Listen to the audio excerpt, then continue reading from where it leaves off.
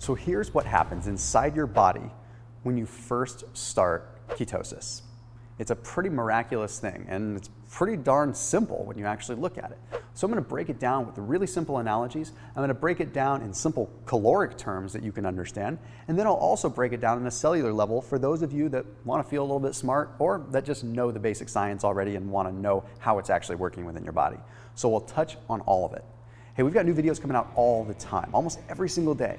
So make sure you hit that red subscribe button and then hit that little bell icon to turn on notifications. And after you watch this video, please check out Butcher Box down below in the description. So if you eat meat, if you eat beef, if you eat chicken, if you eat pork, any of that stuff, you want to be getting good quality grass-fed, grass-finished meat.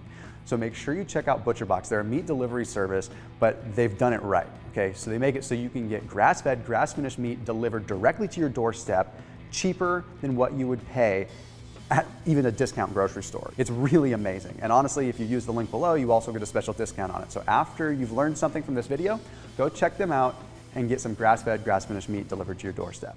Okay, let's break this down really simply. The first thing that we have to look at to understand this whole process is how the brain works.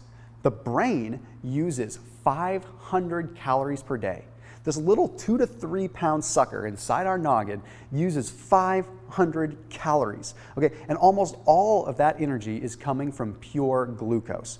Okay, glucose, blood sugar, same thing, right? Our brain is running on sugar. So you're probably thinking, well, why should I do ketosis? I won't have any glucose. No, trust me, your brain will still function. And after you hear me out in this video, it'll all make sense.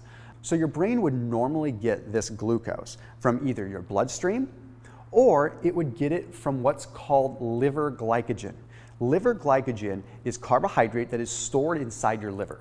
Okay, it's stored inside your liver specifically for reasons like this, so that when you are not eating and your blood sugar is a little bit lower, no problem, it pulls from the liver glycogen. But there's an issue. Our liver only holds about 600 calories worth of energy via carbohydrate. Uh oh, our brain demands 500 a day and our liver only holds 600. So the moment that we start going into a deficit, we're depleting that. That could be a problem, right? So you start doing the math. And when we look at how ketosis works, it all makes a lot of sense. So all it would take is one day of fasting before your liver glycogen is depleted because your brain has taken demand and it said, I need these carbohydrates, so it's drained the liver and you haven't been refueling. So your brain ends up zapping your liver glycogen. Well, okay, in a simple theory, that would mean that your body would have no choice but to start breaking down your muscle tissue. Okay, because what happens is your body can take muscle tissue and break it down into sugar. So, by this theory, the simple thing is that once we are starving for even a day or depriving ourselves of carbohydrates for just a little bit, our body would start to break down muscle tissue and we'd waste away. Now, that doesn't make sense because, of course, we would be extinct if that happened. Okay, if you look at it from an evolutionary standpoint, the moment that someone would start to, you know, not be able to find food for a day or two, their body would waste away and eventually they'd have no muscle mass and no, they'd atrophy to the point where they'd die. So because of this, our body has created a unique mechanism that our body actually thrives on, and it's called ketosis. And we're going to explain exactly how it works because it's really fascinating. So, first, I'm going to summarize this in very general terminology, and then I'll explain a little bit what happens at the cellular level, but I promise I'll make it easy so it's fun and you can understand it. Okay, so in summary, when we consume carbohydrates, normally that would restore our liver glycogen, which would fuel our brain. Okay, but additionally, when we consume carbohydrates, it also triggers something called insulin. Okay, insulin is the absorptive hormone, causes us to store fat, but it also does a lot of other things in the body. Insulin is like a brake pedal on the process of creating ketones. Because when we have insulin coming in, we have insulin up elevated, there's no need to create ketones because we have plenty of blood glucose, right? So it has its foot on the brake pedal, stopping ketogenesis stopping ketones from being created. The moment that insulin levels lessen, it lets off the brake pedal and ketones can start being created. That's why when you do keto, you're cutting out carbohydrates because you're lessening insulin. Carbohydrates equal insulin.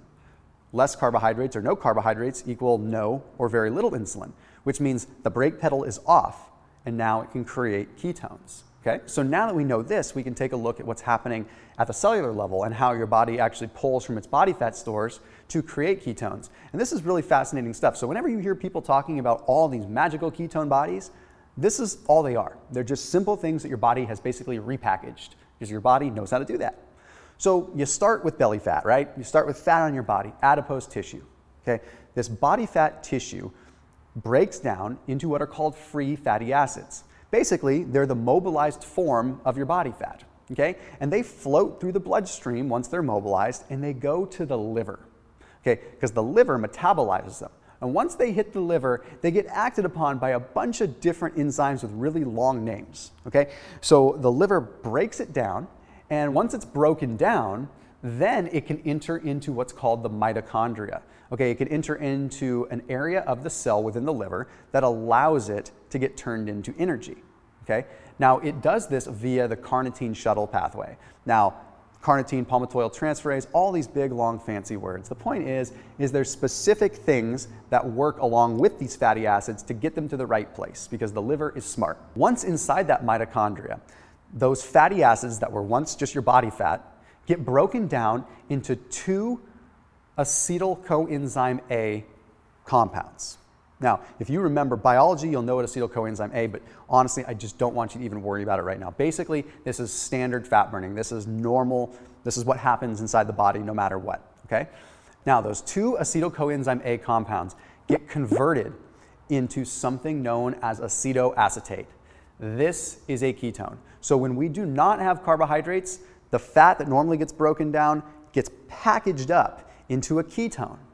And those ketones can be used by our cells. But it doesn't stop just there. For those of you that want to know a little bit more about how this works, we start with acetoacetate, one of the ketones, and then that gets acted upon another enzyme and it gets turned into beta hydroxybutyrate. So if you know about ketosis, you know about beta hydroxybutyrate because everyone's always talking about it. So beta hydroxybutyrate is the popular thing, but really beta hydroxybutyrate is like the suitcase. You see, acetoacetate gets packaged up into beta hydroxybutyrate so that it can travel, so that it can leave the liver. So then what happens is you have a ketone that's hot and ready to create energy, and it gets stuffed into a suitcase okay? And then it gets stuffed into a suitcase, and then it has to ride on what's called the monocarboxylate transport chain, okay? So it has to ride on this monocarboxylate transporter. And the way that you can explain it is it's like all this bent up energy, okay? This million dollars is stuffed into a suitcase, and this suitcase is put into a van, okay? And this van drives it out of the liver, and it drives it to a cell.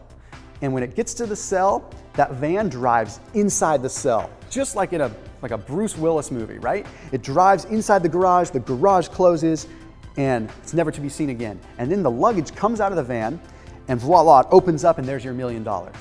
And there's the energy. So ketones have a unique ability to get packaged up, put on a special van, delivered directly to the cell, inserted into the cell, and then unpackaged inside the cell where it's totally safe. Hence why you get so much energy on a ketogenic diet. And this is all simply because you didn't consume carbohydrates and your body went to its quote unquote backup mechanism to create energy. But its backup mechanism to create energy happens to be one of the most powerful ways to create energy because your body is at a point in time where it's desperate for energy, so the energy that it does get is very efficient so that the body could go out and get more energy from other food sources. So it's a very effective way to have energy. And of course, lose weight because your energy is coming from your fat stores. So this is what's happening inside your body when you start a ketogenic diet at the cellular level. It's simple, but complex at the same time. The point is, it's perfectly safe, it's sound from an evolutionary standpoint, and it works. I'll see you in the next video.